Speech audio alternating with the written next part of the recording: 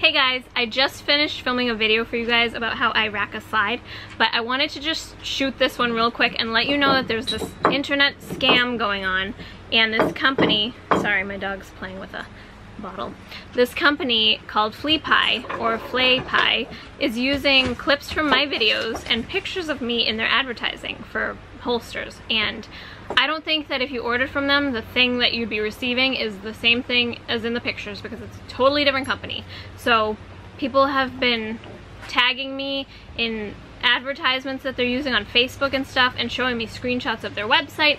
Thankfully, they took the pictures of me down off their website after I messaged them, but now they blocked me so I can't even message them and I can't comment on their ads.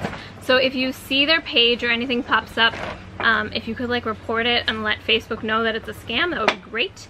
I just don't think that it's fair to you guys as consumers to see advertising that's not genuine. And it's also not fair to me to not receive any credit for them using clips from my videos. So I just want to let you know that that was going on. Make sure you know that the company that you're actually buying from is a good reputable company, especially when it comes to a holster, you want to buy something that's good quality and that you can trust. So that's all. I hope you all have a great day and I'll see you next time. Bye.